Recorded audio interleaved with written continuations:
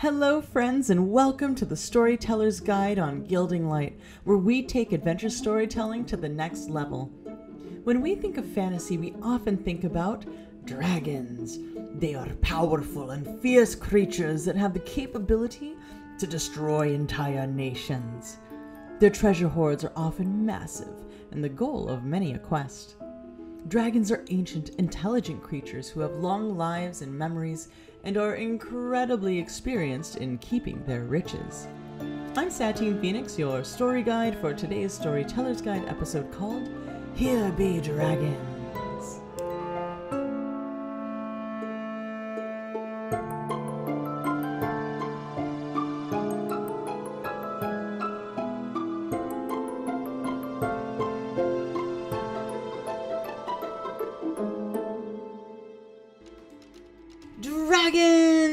Young dragons, adult dragons, ancient dragons, wyrmlings, drakes, dragons, dragons!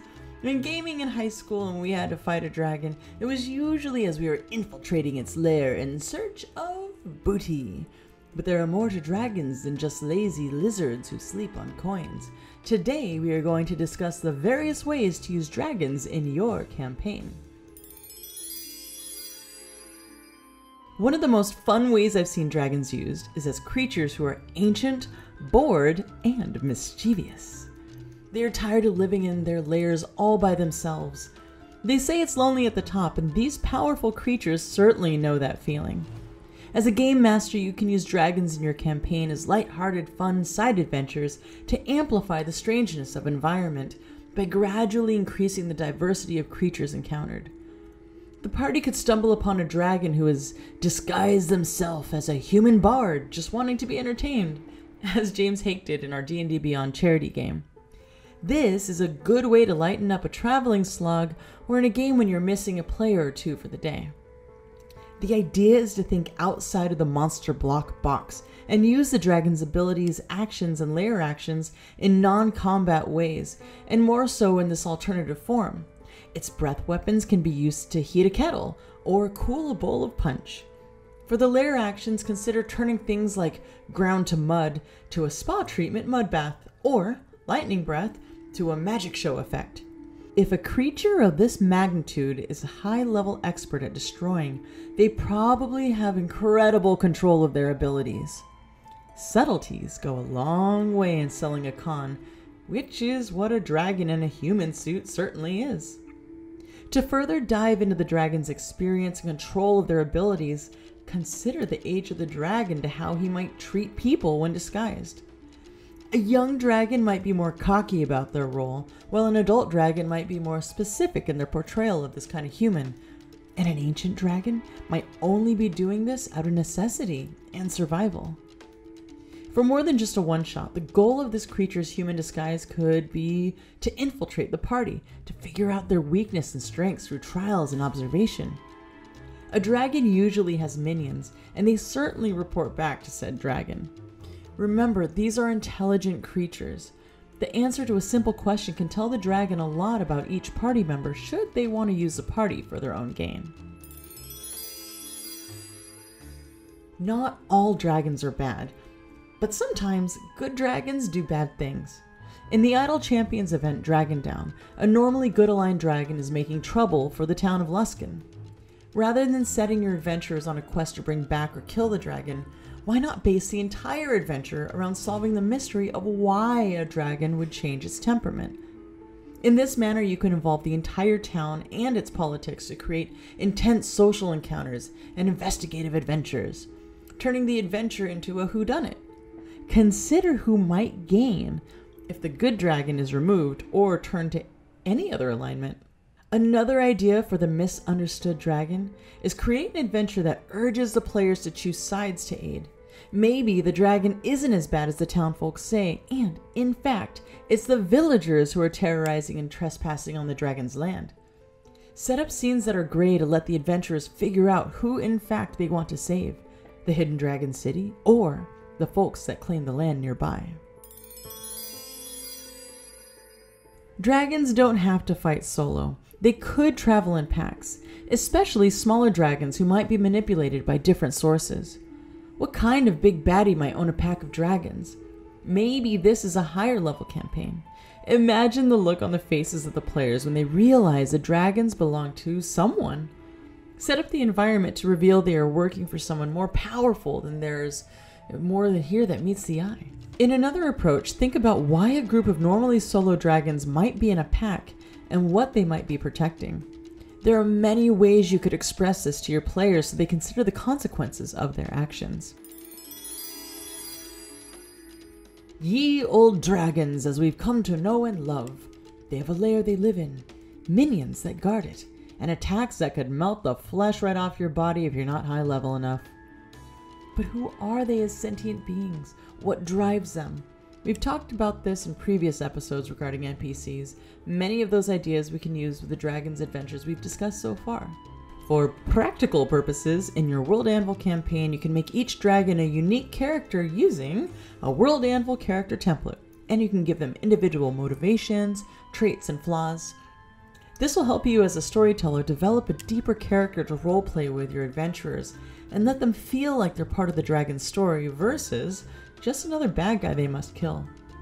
You can then be prepared, not something we often get the time to do, for when you are at the game table, you can fill the story with tidbits of the dragon's loves and desires. Now that we've dabbled into ways to create adventures with dragons, let's discuss this with our special guests and begin our quest here on the Storyteller's Guide after these short videos.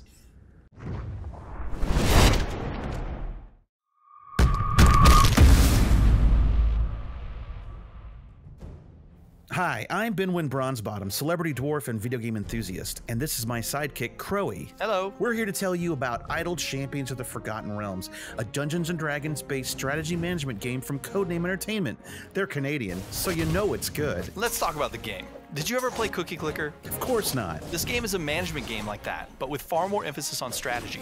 And with a flavoring of D&D's lore and legendary heroes, you can unlock your favorite champions like Farideh from Erin M. Evans' Brimstone Angels saga, Minsc and Boo from Baldur's Gate, and the fourth and final member of Acquisitions Incorporated the C Team, Amy Falcone's Walnut Dankgrass. The K is silent. Create the best adventuring party possible based on the formation options, your character's ability, and the obstacles and enemies you face. Or you just randomly click on things like I do and hope for the best. You can click on enemies to assist your champions, or you can set them up and walk away and let them do their thing. It's entirely up to you. I'm playing on the toilet right now. Why wouldn't you be? Idle Champions is available on all your favorite gaming platforms, including tablets, for the low, low price of free. So download it now. End with joke. You're not supposed to read It that. says end with joke. No, we're supposed to come up with a joke to go with where it says Oh. end with joke. I don't know. End with joke is pretty funny. Wait, on three. Ready? Yeah. One, two, three. End, with, joke.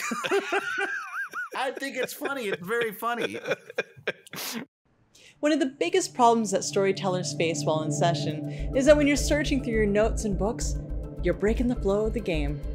World Anvil allows you to manage your lore, the stat blocks of your PCs, NPCs, and monsters, your music, handouts, and so much more from a single screen. Fill your maps with lore and bring your worlds to life by connecting locations, NPCs, races, and monsters to the lands of your world with interactive maps. Track the history of your world, the adventures of your party, and all your major NPCs with timelines. World Anvil is not just for D&D 5e. E. It supports any other game you want, since you can build stat blocks in any system you're running and play your campaign in it, as every proper homebrew tool should aim to do. Oh, and you can make your own system too. Create an account now at worldanvil.com and join the World Builders Guild. Use the code STORYTELLER for a whopping up to 30% off Master and Grandmaster memberships. That's worldanvil.com.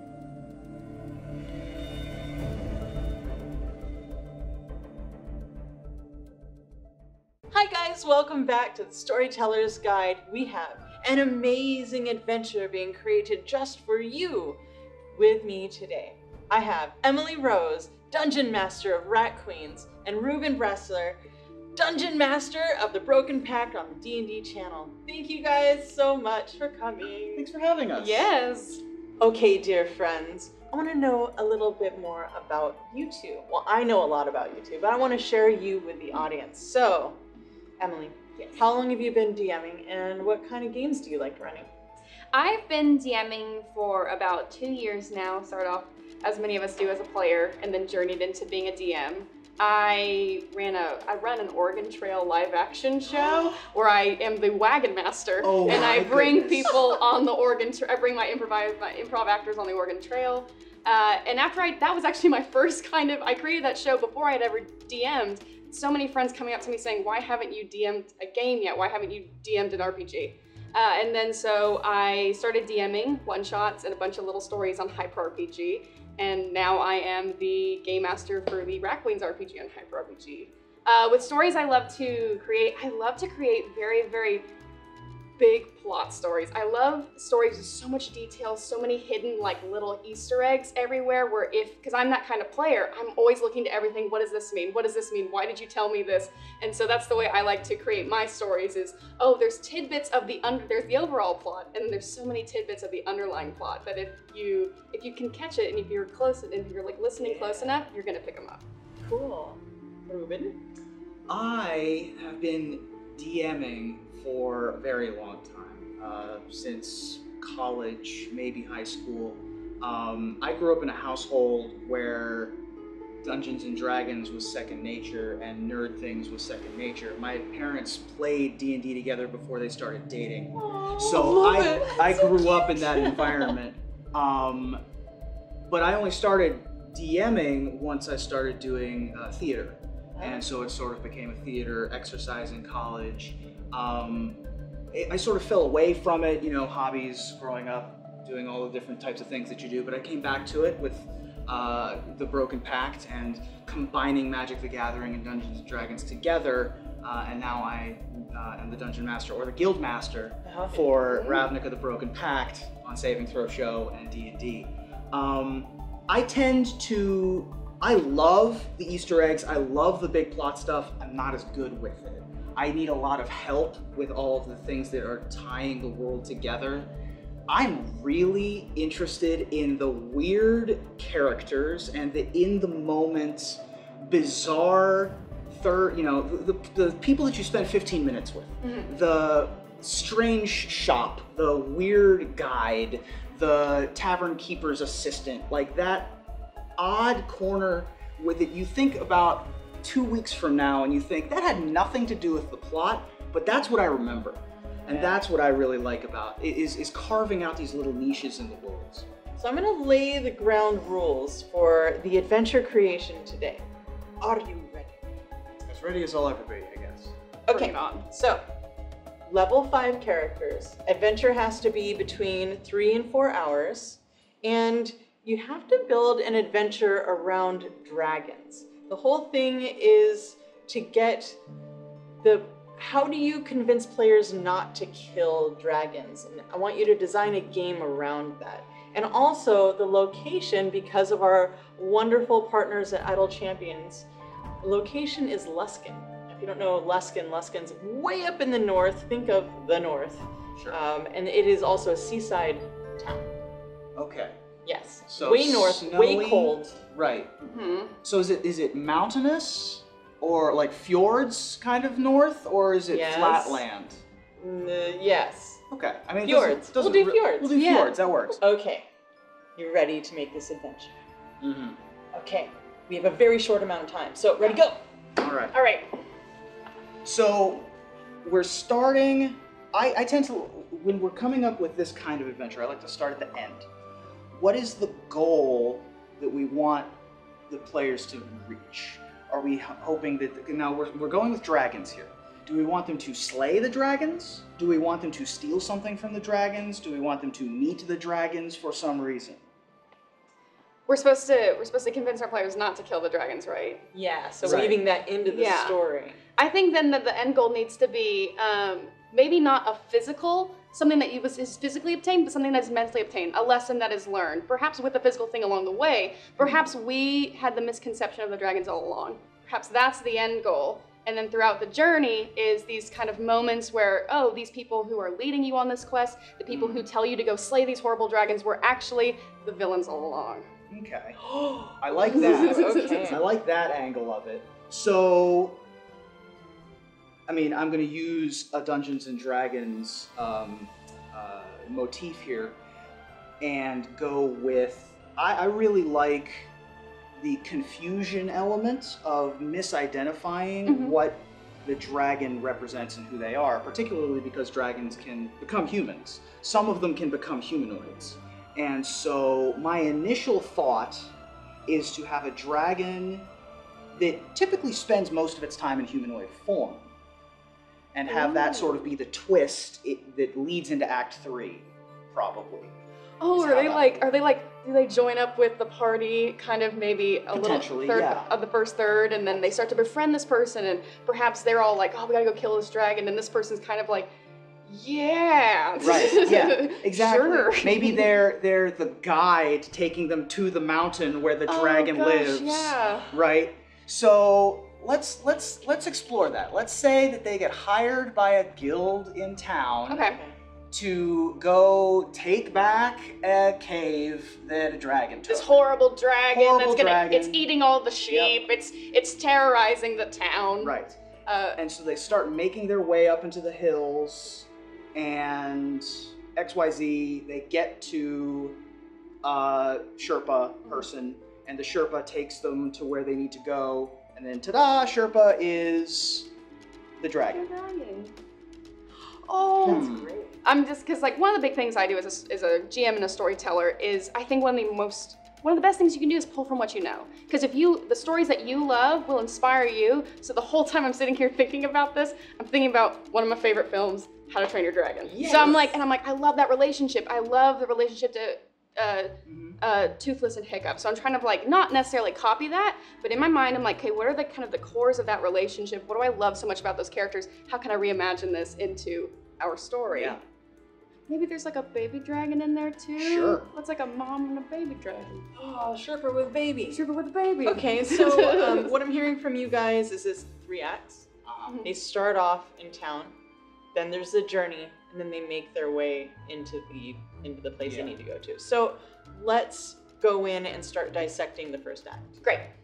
so first act Town. town information gathering Creative, well, like super fun NPCs, Yeah. a variety of characters that the I think that's what I love about towns. I love creating towns because I love having my players just go. Who do you want to talk to? Right. Let's improvise this. Let's create this. Let's build this town together. Yeah, I also like the aspect of showcasing the different personalities that a town can have. Maybe the group that's hiring the party is super anti dragon, but then you find some other group that's like, eh, they don't bother us, we don't bother them, or something else along those lines. Yeah. And another really fun place to put those unique world building aspects um, for, for a location that's super unique. This what was Luskan Yes. and um, you know you can you can have you know pelt traders or someone who might have specific knowledge of where they're going. Or even maybe like a barbarian or a warrior or a fighter who is retired who once tried to take on this dragon and has like a story from it, but then are they actually telling the truth? Is Yeah. you don't who can you trust? I really like building stories from a foundation of who can you actually trust. I think that having um, a distrustful um, person that hires the party is a fun place to start with because then then the players, even though they're on this adventure and they know that you know there's there is an end goal here, they know something hinky is going on. They're Okay. waiting for the twist. So what? Who is this person? Why? Why say yes to this person over anyone else in town? Hmm. I think where my gut is telling me to go is, um, especially something we need to. I think there's two goals with this. This person needs to convince the players Mhm. how important this mission is, how deadly this dragon is. Um, this per whoever is setting them on this mission believes that they're doing good. It's never a malice thing. A villain always believes that they are doing what is best. That's the best kind of Yeah. villain. So this person believes that what they're doing is right. Uh, and sometimes I like to, to I what I like to build too is uh, NPCs who have relationships with your your current players at the table. Sure. So is this a cousin? Is this an uncle? Or is this a, a longtime friend that this one person at the table can trust and will then say, hey everybody, it gives them kind of character motivation and story motivation and improv motivation to go along with uh, what I what we are as the GMs and the DMs encouraging them to do. Absolutely. that let's makes sense. it. No, totally does. Let's start establishing this. We've got about 20 minutes to do this whole thing. Sure. Great. Yeah. So I think that there's there's so much room here for for misdirection and fog. Um, something I, I wanted to plant so that we can hint at it later is that um, white dragons and silver dragons are very similar, and they live in the same environment, icy snow mountains. And silver dragons are good, and white dragons are bad. So maybe Ooh. they get hired to take care of a white dragon, and then they get there and it's actually a silver dragon. Oh, I love that. So that's that's a that's a twist that we can throw at the players, especially if they have some amount of dragon lore in Mhm. mind. They can be like, "This doesn't seem like a white dragon behavior," and then they can start doing weird checks Oh. like that. And then they can Perfect. find that out through the journey. Exactly. Mhm. Another thing I really like doing, particularly in Dungeons and Dragons, but in all role playing games that have these wide skill sets, is using the underused skills. Um, animal handling is my favorite skill to throw at my players in Dungeons and Dragons because it's the least used skill. And so when you find an opportunity to throw dragon lore or tracking or really niche subjects like that, particularly in an adventure like this, um, I think that you just have to dive in and, and uh, take full advantage. Cool. Okay, so we have an overall uh, view of it. Now let's get into the nitty gritty. Great. Who is this person? Right. Why? Give me the whys. Right. The who's and the whys. How do we kick this off? So there is the traditional you just get hired to do this thing, and maybe the person doesn't know any better. But I liked your plan better of this is someone who doesn't have the right picture. They, their their um, intentions are good. They perhaps thought that the dragon, you know, Lord of the Rings style, kicked out their family from their ancestral home Mhm. let's say. Um, but in fact, it is some other, some something else has happened. Personal. Yeah. Yeah. It's personal. It's personal. Okay, so we'll say that this is the this person is the cousin. Yeah. Say it's a cousin to somebody in the adventure, and you know, even going to you can make this adventure have pre-made characters. Mhm. Sure. So that'll make it easier, Yeah. right? Okay, so it's the person's cousin, a barbarian's cousin, whoever this person is, and they are uh, they're trying to get you to overtake or take care of. Um, we're not clear. I think it's I think it's probably it's clear out. It's probably clear out. I think that we can definitely just play off of the Lord of the Rings. yeah. Eliminate like, that threat. yeah, Eliminate just, the thread. Just Okay. get us our ancestral home back. You can even sing the song, and just play off of that colloquialism. All right, who is this person? Race, class, Dwarf. name, dwarf. Got to be a dwarf, right? Dwarf, dwarf barbarian. Dwarf barbarian In the north. In the north. Klaus von Stronoff. Klaus von Stronoff. okay. Love it. Um, retired former adventurer, Missing an eye. missing an eye, a yeah. hundred percent. Yeah. Um, yeah. And super proud. Maybe not super old, but just over it. Yeah. You know. Um, And I think too. I think uh, someone a character that no one has told him that he is wrong his entire life. Right. Always believes that he has the best intentions of everyone, and always believes that what he is doing is right. Yeah. And being a former adventurer has just gold that he has nothing to do with. Like, what's he going to do with it? So he's going to hire some folks to go take care of this other problem, get his uncle's house back, and hires these new adventurers to go take care of the issue. All right. So the house is up in this location. Yeah, the, the, the cave is an ancestral home. Okay. Cool. Ooh, yeah, it's like part of their dwarf. land. Yeah. Awesome. I would like it. Okay, and then you have weather because Mhm. you're up there. They have to brave through the cold, the journey from this town to that location. Okay, so you've given them the quest. They have to go do the thing. They get X amount of cash. And what is the issue in the journey? The that um, from what I hear, they it's revealed about the dragon. This person told you lies. It's revealed about this dragon on the journey. Mhm. Yeah. So we want Klaus to not be purposefully misleading. right? Right. But by the end of this, we want the party to both like Klaus and the dragon. Ooh, yeah. Because cousin. His cousin. Yeah. Can't can't break that bond. So Okay. I think then, yeah, you play this character can't be from the get go. It's got to be an understandable look. I'm just taking back what is mine. Yeah. Yeah.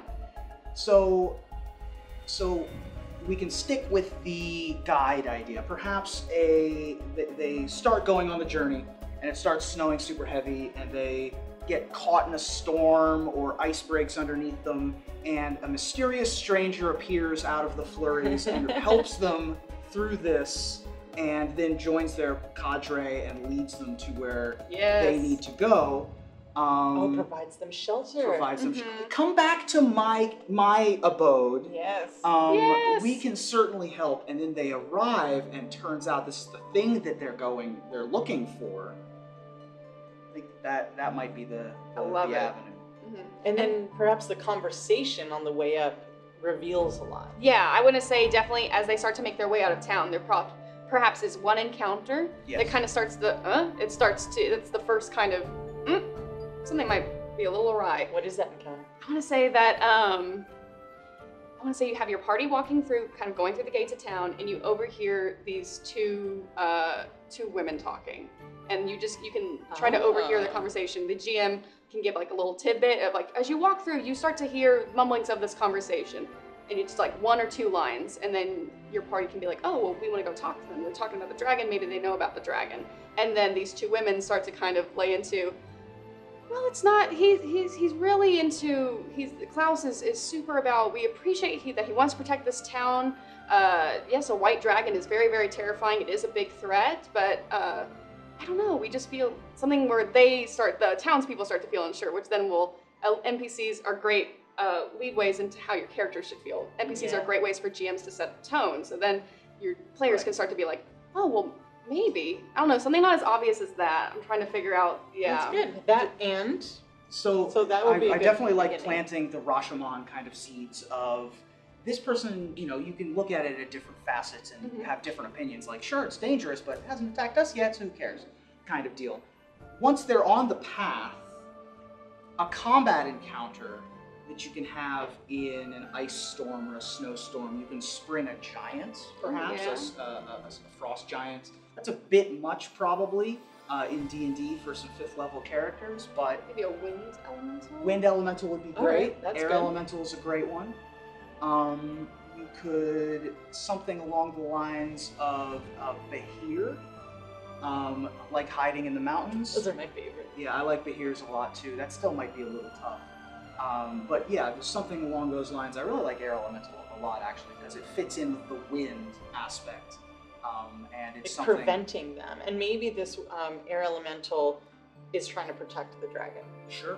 And So- maybe people in the town are misinterpreting misinterpreting this wind this protected wind elemental as the dragon As the itself. dragon, Boom. yes. Because no one wants to go, no one dares go up there. Oh, the people who have gotten close, oh, mm, it's that dragon. Right. Yeah, Okay. they've gotten caught up in this big windstorm. Yeah. I like that. That's So great. we've got the uh, interaction with some townsfolk. You make your way up. There's this air elemental protecting the dragon. Do they find out that it's protecting the dragon? Is there a, a give that you want to? Um, they don't have to. I But don't also- Yeah, I don't, I don't know if I want them to yet. Okay.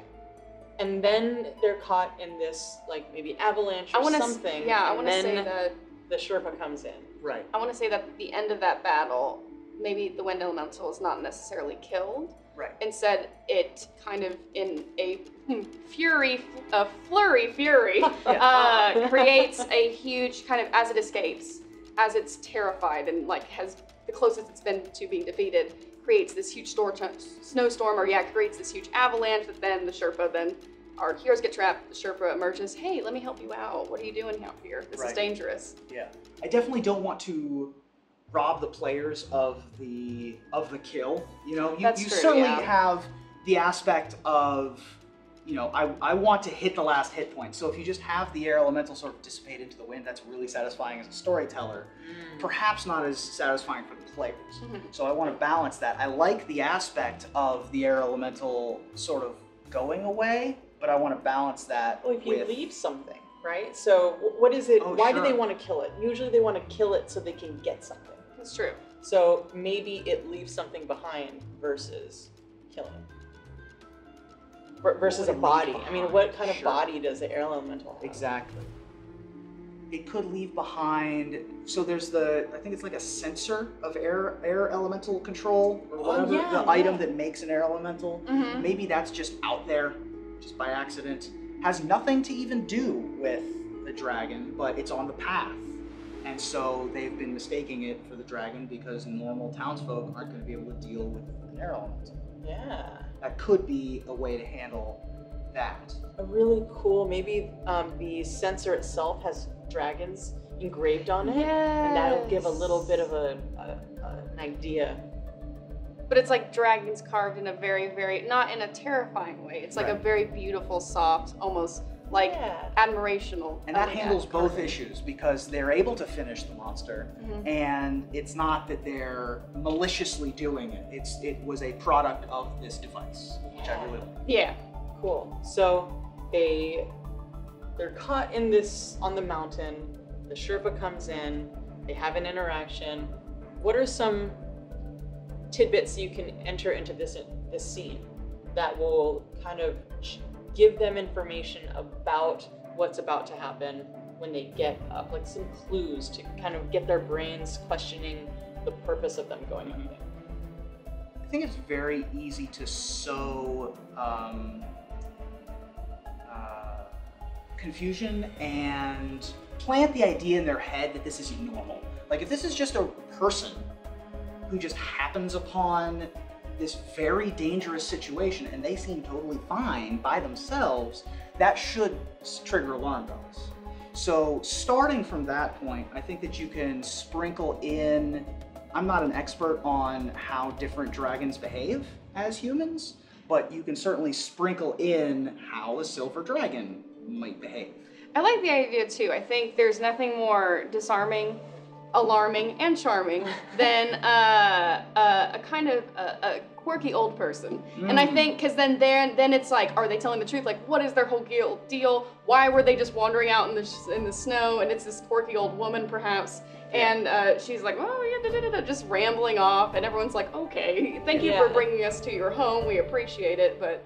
And then you find out, yeah, that this is just who A this dragon is. silver-haired Yes. dragon lady. Yep.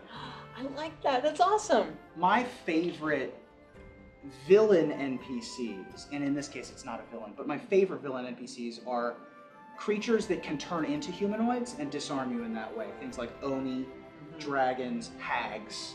Um, my first instinct would be, oh, that's a hag. Immediately. I would see old lady alone Yeah, in the wilderness. You have to worry about preconceived notions. That's true. Right. So if you change her appearance a little bit, so maybe you don't describe her as like you would have had, you would actually describe her like a Sherpa person. Yeah. I Mhm. don't know. That sounds Lots really of weird. furs. um, I'm picturing like a super long silver braid. Yeah. Oh yeah. that that symbolically would be the The tail, tail. Mm-hmm. but like huge, like super thick. Maybe even a uh, maybe this is an old dwarf lady Ooh. to sort of play off of like the that, dwarf yeah. in town, dwarf in the mountain. And it'll take away from the idea that oh this is a hag because your players will always try to guess Yep. what something is. Okay, they've had that conversation. Um, give me three tidbits of information that might sway them. We've got like seven minutes. Okay. Um. Uh, she starts to ask him, "Tell me, does any, has anyone in this town seen this? Like, oh, what have they told you about this dragon?" She starts to inquire, like, "This? Oh, yes. Oh, I really haven't seen a dragon up here. Can you tell me what to look out for?" Mm, like, kind of, I like yeah. that. Yeah, fishing for information. I like Mhm. that a lot. I think that um, if there is a either a dwarf or a dragonborn in the party, uh, and they immediately latch on to that character, um, particularly if it's someone who's not the cousin. The cousin in town, it already had their sort of roleplay Yeah. moment in the first portion. Maybe there's something different about a ranger or something else. You find some tidbit to latch onto. Oh, you're an outlander as well. Where are you from? How have you managed in the wilderness? Maybe they share a type of instrument that they play Mhm. or, or something along those lines. And just try to dig into their personality, um, trying to associate a common bond before they get to where they're going.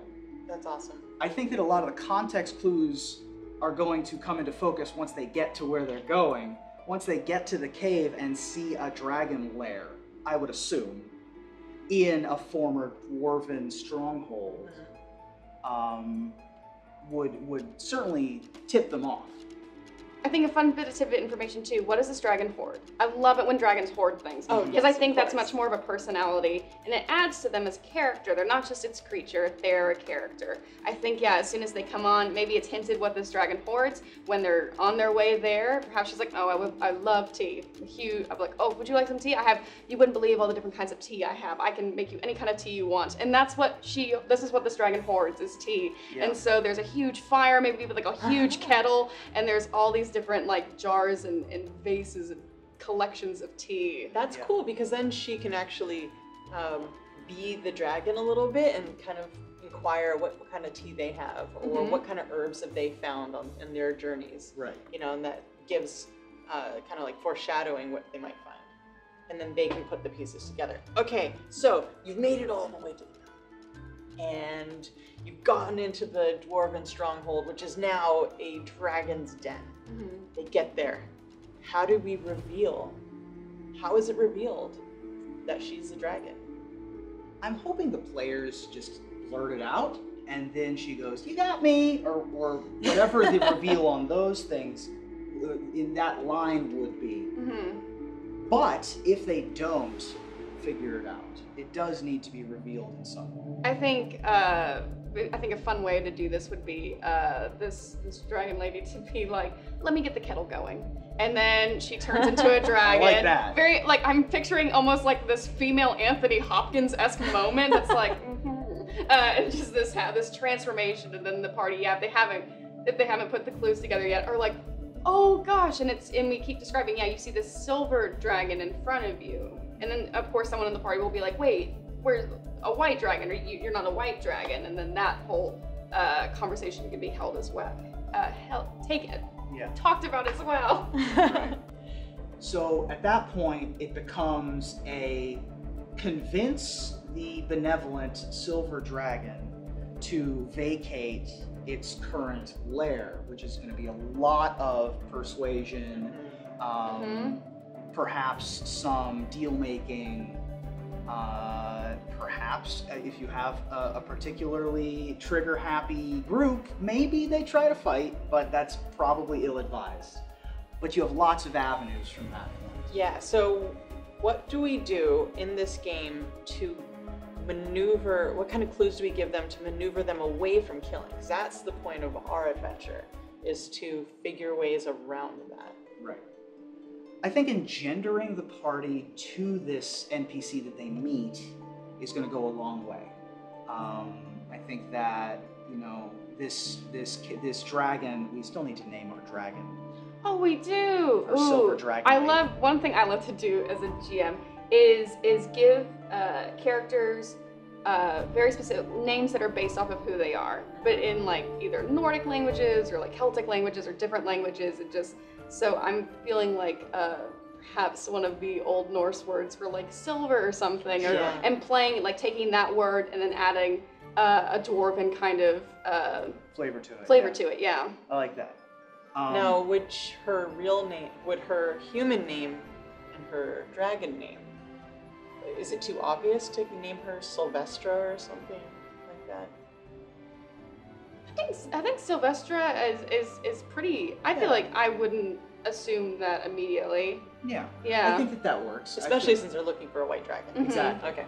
Yeah, once once they put it together that they're looking for that the white dragon is the silver dragon and they make those those connections, then Sylvester becomes more obvious. But because we've been hiding the ball this whole time, perhaps they won't figure that out. But it is another nice lore, uh, uh, drop for them to sort of see that they're not everything is as it seems here.